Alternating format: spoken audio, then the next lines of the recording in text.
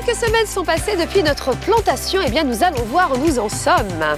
Oh Waouh J'ai bien bossé, hein En effet. Tu vois, nos plantes, elles ont bien grandi. Elles ont atteint environ 25 cm. Donc maintenant, on va pouvoir remplir notre carré avec un support de culture bien nourrissant. En ajoutant du support de culture, on va permettre à la plante de bien développer les tubercules et les protéger du soleil afin qu'ils ne verdissent pas.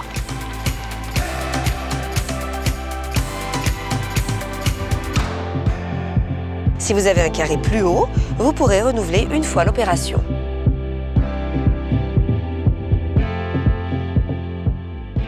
Les pommes de terre doivent être arrosées régulièrement afin que la terre reste humide.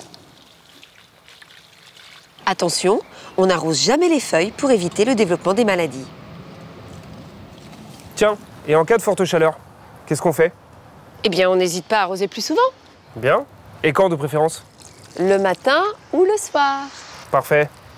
Dis-moi, Alex, si des maladies apparaissent sur les feuilles, qu'est-ce que tu fais? Eh bah écoute, dans un carré comme celui-là, on va pas s'amuser à traiter. On va seulement retirer les feuilles malades afin d'éviter la propagation. D'accord.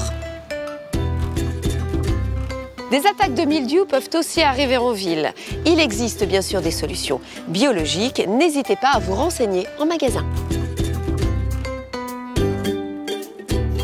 Attention aux ravageurs, surtout les dorifores. Ils adorent les feuilles de pommes de terre. Alors moi, personnellement, je préfère les tubercules. Moi aussi. Mais bon, à savoir qu'en ville, ils sont peu fréquents et on peut les retirer à la main. Mais Alex, un petit peu d'optimisme. Regarde, nos plantes amies vont nous aider. Et d'ailleurs, je pense qu'il faut les arroser. C'est vrai, tu as raison.